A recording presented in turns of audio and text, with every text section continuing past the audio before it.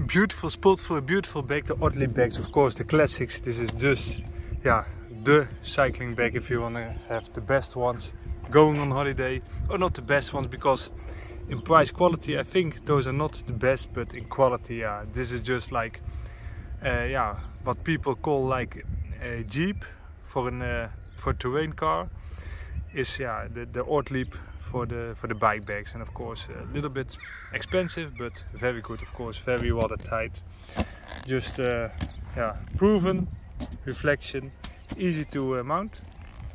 You don't need any equipment for it. If it's just you need to set this uh, one then you can also set that one. But uh, that's just by hand and this one you need like an inbus but normally it's okay so let's go cycling.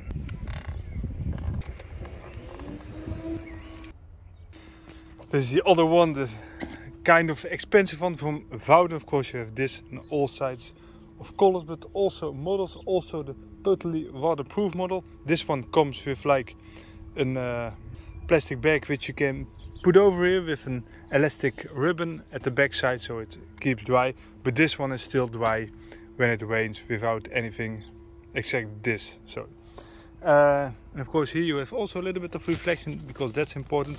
All kind of hooks. Different uh, what I like about this is the different uh, storage places how you can use it with all kind of smart things.